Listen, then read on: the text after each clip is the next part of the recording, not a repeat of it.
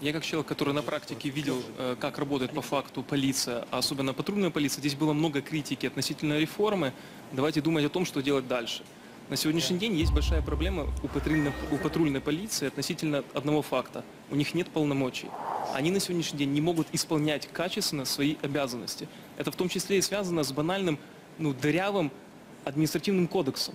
Если человек сделал административное нарушение, патрульно-полицейский не имеет права его задержать, если он сам не предоставит свой Дайте им паспорт. эти полномочия. Я не Вот могу в том, им дать эти В том-то и полномочия. дело, что сейчас одна из самых главных задач это помочь патрульным полицейским, которые на сегодняшний день действительно в этом нуждаются и пользуются доверием у населения. А, ну, а депутатам, прежде всего, нужно начинать с самих себя.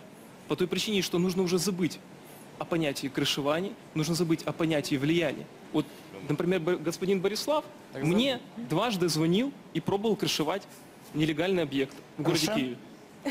Господин Борислав, вы же знаете об этом. Вообще-то, господин я, я бы Борислав, очень хотел, я бы очень хотел, чтобы Так, а просто вы там, мы начинали все вы с там самих крышевали, себя. Борислав? А, Я хочу покаяться в присутствии всех. Да, действительно, крышевал Рошен, но меня переубедил церковец, и поэтому не снес ларек на святошину. А теперь серьезно. А теперь святой, серьезно, без всяких шуток. А господин Белоцерковец немножко путает свои обязанности и свои знания и полномочия. Я объясню. Он недавно был главой Киев Благоустрия. На сегодняшний день он народный депутат.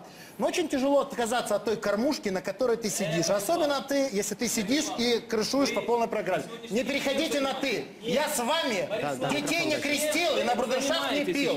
Поняли? И не собираюсь. уходите давайте, давайте, Рассказывал дальше. Если вы будете меня перебивать, нет, я буду вас перебивать. личностные разборки вы перенесете в площадь Фейсбука. которая купила себе место в списке. и вот этот человек, который позор.